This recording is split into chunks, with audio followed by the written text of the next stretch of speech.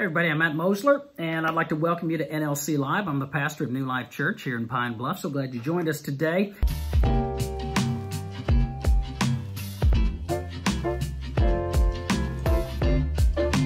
want to share a great verse with you that's, you know, this really is a verse that's really relevant to the area that I'm in. And, and here's what it is. Out of the book of Galatians, chapter 5, first verse, he says this.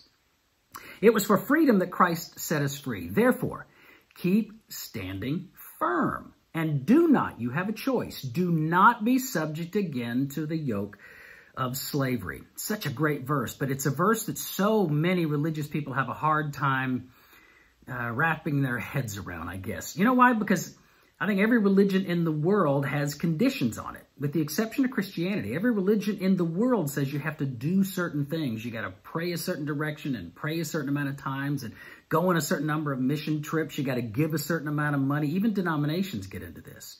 You know, you got to you got to give more, you got to serve more, you got to do more, you got to read more.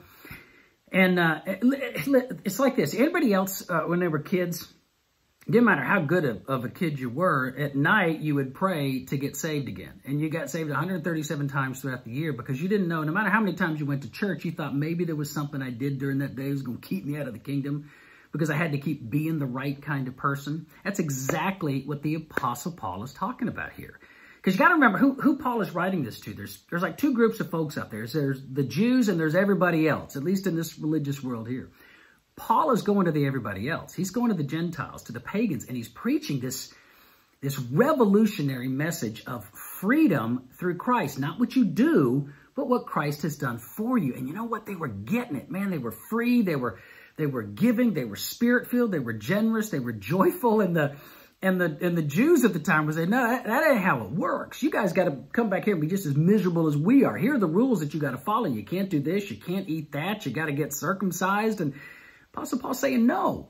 And this is, this is what he's trying to tell him. And I think what he's trying to tell us today is that you're never going to find peace through performance. There's nothing that you can do that's going to earn God's favor. It doesn't matter how many old ladies you help across the street, God is never going to love you any more or less. Why? Because he sent Jesus to pay for all of that. And the reason that he says keep standing firm is that there's always going to be uh, people or groups or denominations that are going to try to get you to conform to this box, like you have to do a certain number of things in order to be righteous. It was for freedom that Christ set you free. Therefore, keep standing firm and do not, your choice, be subject again to a yoke of slavery. It was for freedom. So why do I read? Why do I pray? Why do I serve?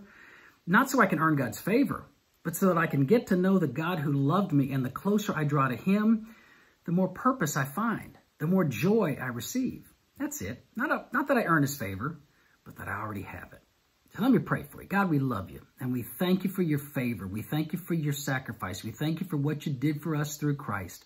And I pray that we can understand and discover the freedom that you have for us as we grow in relationship with you. In Jesus' name, amen. God bless you.